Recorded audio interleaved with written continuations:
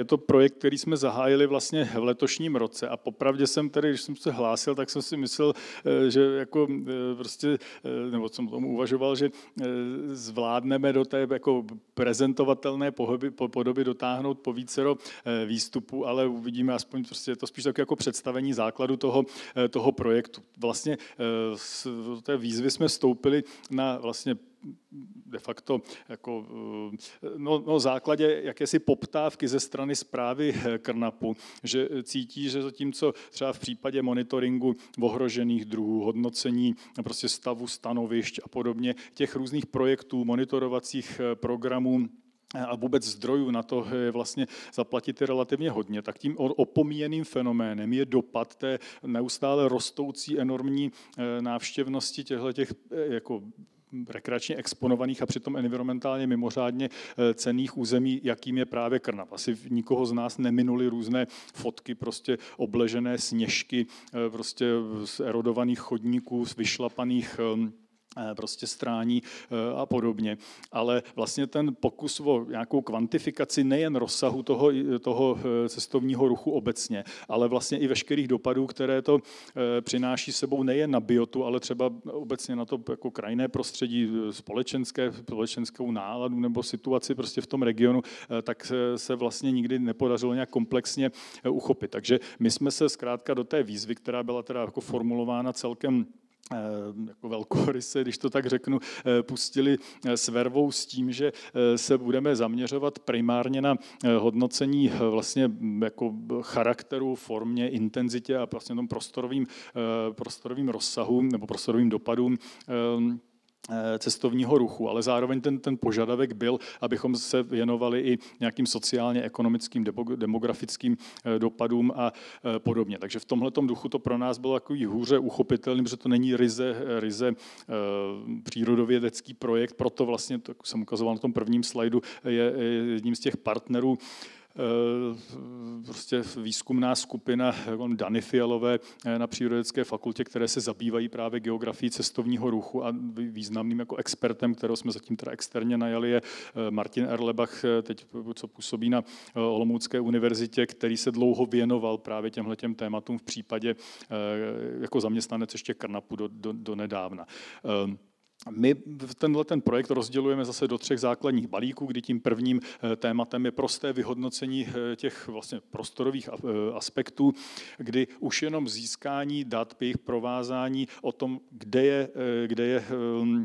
vlastně ta rekreační turistická zátěž, eh, zkrátka kam je eh, směřována, provazování dat třeba z turistických sčítačů, eh, z různých aplikací, třeba typu Strava a podobně, navázat je právě na to, zda nám rozdělují nějaké cenné habitaty, jak to vypadá třeba s výskytem druhů, které mohou být citlivé na tyhle ty typy rušení. Ta debata o tom, zda je větším problémem prostě lesní asfaltka, po které ale projede třeba jednou prostě za týden lesník nebo prostě nějaký auto, auto, eh, anebo jestli to je turistická stezka, třeba jenom pěšina, po který ale projdou třeba o víkendu eh, tisíce lidí, eh, tak přesně tyhle ty otázky vedly k tomu vlastně formulování tadyhle toho prvního, prvního balíku. Druhým je potom hodnocení těch vlastních environmentálních dopadů, kde vedle takového toho klasického vyhodnocení, nějaký risk assessment z pohledu dopadu třeba zejména třeba fragmentace prostředí nebo konkrétních habitatů eh, vybraných druhů, které mohou být citlivé eh, na rušení nebo prostě rozčlenění toho, toho areálu, tak je tam opět na požadavek zprávy Karnapu byl, byl velký důraz kladen i na šíření invazních druhů. To je v zásadě dosud nepopsaný fenomén, kterým se příliš nikdo nezabýval a zvlášť třeba, já nevím, účast kolegy Sádla v tom botanickém týmu přináší přináší skutečně jako originální vhled do eh, téhleté problematiky, takže už ty první jako eh, kick-off meeting nebo eh, nějaké další, další prostě no, jeho prostě jako vhled je, je, je jako perfektním takovým jako přínosem. Dalším, nebo tím posledním balíkem, ke kterému toho příliš asi neřeknu, je hodnocení o něch sociálně, ekonomických, demografických eh, dopadů, kdy těch, eh, ta poptávka potom, jak vlastně je, troufám říct si, až jako deformováno to sociální prostředí těchto těch rekreačních, prostě, nebo rekreačně exponovaných eh, území, je, bylo, patřilo teda mezi ty jako hodně vyzdvihované cíle toho Eh, toho projektu, kdy v nějakým prostě posudcích eh, na ten projekt eh, se vlastně toto, toto bylo zkrátka jako zmiňováno jako výrazné plus v rámci toho, toho projektu. Na závěr chceme vlastně celý, veškeré ty poznatky rozčleněné do těch dílčích témat směřovat do nějaké syntézy typologie území, kdyby zkrátka tím výstupem využitelným třeba pro zprávu mohla být klasifikace území Krnapu právě podle jednak toho prostorového roz, rozmístění eh, těch aktivit, eh, konkrétních environmentálních dopadů, protože ta, tatáž eh, prostě intenzivně využívaná turistická trasa nemusí představovat stejné riziko nebo stejné negativní environmentální dopady jako jiná třeba v mnohem citlivějších ekosystémech nebo prostě, která rozkrajuje domovské okrsky těch citlivých druhů. A potom tím třetím kritériem by, mělo být, by měla být ta socioekonomická nebo prostě tu společenská přijatelnost eh, té turistické zátěže toho, eh, toho území. Eh, ten jako výstup ukazuju zatím takovou jako dílčí studii, kterou jsme neprovedli paradoxně v Krkonoších, ale nejdříve na Šumavě, kde vlastně do, té, do toho jako prostě hodnocení vstupovaly teda jenom jakési dvě osy, míra antropogenní zátěže nebo právě jako měřená tím turistickým tlakem a potom kvalita habitatu, jakási citlivost toho prostředí a potom ten, tím, ten třeba mapový, mapové vyjádření takové takovéhle syntézy může hm, vypadat eh, tímhletím způsobem. Eh, s tímhle třeba pracuje konec konců zpráva eh, Šumavského parku při argumentaci pro vymezování klidových zón a nějakých i kompenzačních opatření z hlediska třeba fragmentačního dopadu nějakých těch exponovaných turistických tras a podobně. Eh, já si dovolím ještě doplnit tuhletu eh, přednášku takovou dílčí studii, která eh, vlastně byla možná takovým předstupněm pro hodnocení nebo podání celého tohle, toho projektu, kdy jsme vnímali tetřívka v Krkonoších jakožto ideální modelový druh, na kterém lze ilustrovat ty často fatální dopady té narůstající rekreační zátěže. Tady ještě v týmu právě zase s legendárním Eh, zoologem Karnapu Jirkou Flouskem, už teda bohužel který není mezi námi, eh, jsme se vlastně pustili do vyhodnocení eh, dopadů právě té neustále narůstající rekreační zátěže na populaci tetřívka, kdy prostě jako z jednoduchého sčítání je v celku jako patrný ten trend. Ještě se tady omlouvám, že přecházím do angličtiny, ale využil jsem prostě část prezentace na to z takového mezinárodního workshopu.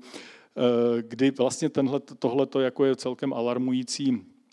dopad nebo výstup eh, postupující fragmentace a toho eh, zásadního vlastně zániku stanovišť, jejich postupného členění. Zároveň je ten druh ideální na, právě na jako představení té problematiky, protože to je v celku prostě jako mediálně vděčný druh, dalo by se říct dokonce, že to je jako mediální hvězda těch článků. O tom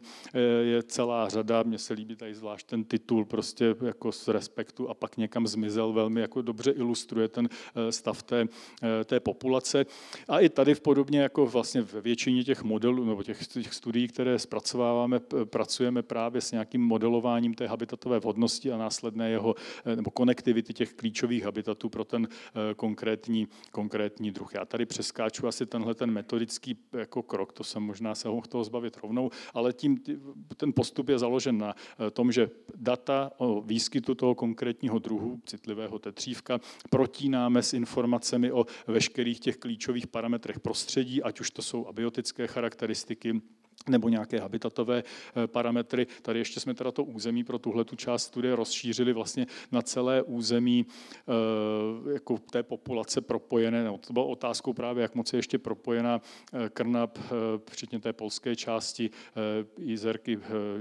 prostě o jizerky a pak tady prostě to území polských jizerek, tak aby zůstalo to území jako dostatečně propojené. A, a často se nám ukazuje právě jako Eh, ty, ty, ty, ty klíčové faktory, ty eh, charakteristiky antropogenního rušení nebo různých struktur, jako jsou vzdálenost eh, k sídlům, k komunikacím, cestám, turistickým trasám a nějaký prostě kumulativní efekt těchto těch struktur. Výstupem toho může být třeba takovýhle model té potenciální vhodnosti, to, co je zelené, tak je zkrátka pro tetřívka, pro tetřívka vhodné a nevím, jestli to nějak nezlobí, ale jo, nezlobí, můžu, budu to držet zkrátka co nejblíž eh, k puse. Eh, a když z toho vypreparujeme tady ty nejvhodnější eh, plochy, tak se dostaneme zkrátka tady na nějakou prostě mapu nebo prostě databázi konkrétních plošek, jejich celkové rozlohy. Ale tady vlastně jako do toho nevstupuje, kromě těch prediktorů, ten eh, e, e,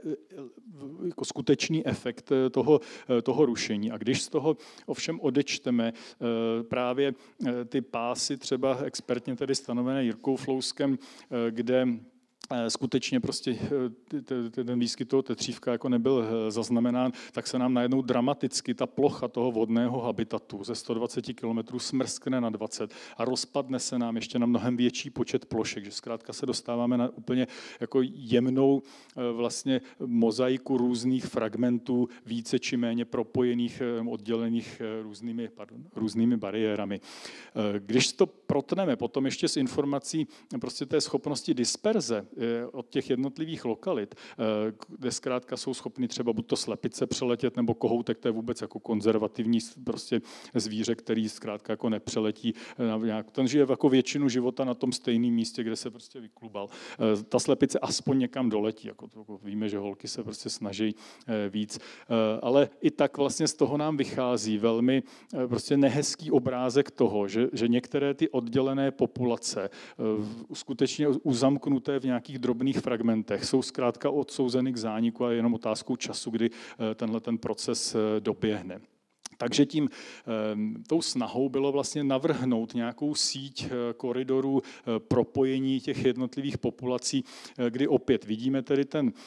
potenciální stav, který by tedy teoreticky jako mohl fungovat, kdybychom abstrahovali od toho intenzivního jako rušení člověkem, ale mnohem jako blížší realitě je tenhle ten stav, kdy pracujeme s jenom omezenými ploškami ehm, toho vhodného habitatu. Rostou nám tím pádem ty migrační vzdálenosti. U řady z nich víme, že jsou v tuhle chvíli prostě nepřekonatelné i pro ty tetřevý slepice, tetřívčí slepice, pardon. A proto do těle těch míst jsou právě eh, prostě, jak to říct, eh, management, lesní, lesnickým managementem introdukována takzvaná prostě tetřívčí centra, lokality, které eh, by měly na pomoci prostě jako jakési nášlapné kameny, stepping stones, překonávat ty další eh, migrační vzdálenosti. Jirka Flousek byl v tomhle ohledu jako optimistou v tom, že zkrátka se snad podaří ten negativní trend Eh, překonat, ale jako mám obavu, že vlastně při té intenzitě toho, toho tlaku, který vyvíjíme v létě, v zimě, ve dne, v noci na tahle ta území, tak eh, nejsme schopni eh, zkrátka jako úplně očekávat nějaký pozitivní, pozitivní řešení. Takže máme obavu, že ten Eh, že ten, eh, prostě tahle ta křivka povede k tomu, že zkrátka budeme znát tetřívka už jenom prostě z lahví eh, vysokovoltážních nápojů a prostě ten, ten ikonický druh z řady třeba těle těch končin zmizí. Uvidíme, jak tomu bude třeba v Krušných horách, jak tomu bude na Šumavě. Jistou třeba naději vkládáme potom do nějakých jako výsledků genetických analýz, které ukazují, že třeba někde ty propojení, byť jsou sporadický, tak přesto jako existují, ale jako, jo, nechci vzbuzovat příliš eh, jako mnoho optimismu. Eh, těch eh, aktivit, které ještě vyvíjíme vlastně nad ten rámec prostě běžných vědeckých výstupů, které by měly pomoci nějakým způsobem prostě tohleto téma popularizovat a eh, představit právě i těm jako skupinám, které eh, představují riziko, typu prostě skialpinisti, freerideri a podobně, tak taky jsme jako rozvíjeli několik, tak uvidíme, zda i tenhle ten výstup, v nich budeme moci pokračovat právě v rámci tady toho projektu, jestli přinesou nějaké výsledky. Tak děkuji za pozornost, to budíš vše.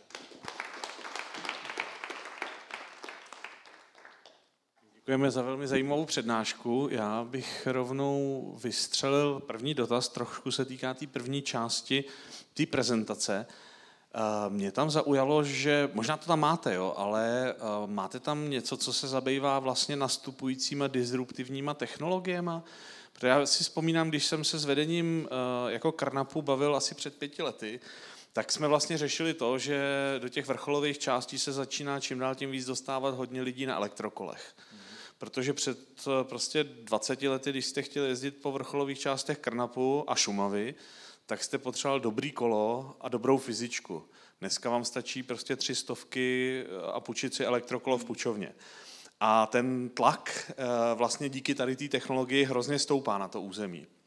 Na Šumavě to bylo vidět prostě s rozvojem půjčování kánojí, jo, kde vlastně dřív, prostě, když člověk chtěl jezdit eh, vodu, tak musel mít tu kánoji a opečovávací, dneska prostě zaplatí pár stovek a může jet. Takže eh, a takovýchhle vlastně nových technologií jako se objevuje, který mají ten disruptivní potenciál buď to dostat do toho území víc lidí, anebo způsobit to, že ty lidi v tom území páchají jako větší neplechu vůči přírodě, tak jestli třeba tohle je úhel, kterým se na to koukáte a pokud ne, chtěli byste? No, eh, to je to, to víc otázek možná v jedný. Jako jedna věc je, co bychom chtěli my, druhá věc je, co je jako akceptovatelný společnosti a co je prosaditelný prostě z pozice třeba té zprávy. Že jako s, když můžu třeba mluvit ze zkušenosti s konkrétníma strážcema, ať už na Šumavě nebo v Krkonoších, tak ty skutečně jako mluví o tom úplně jako neúměrným nárůstu, co souvisí třeba s částí s covidem, ale právě i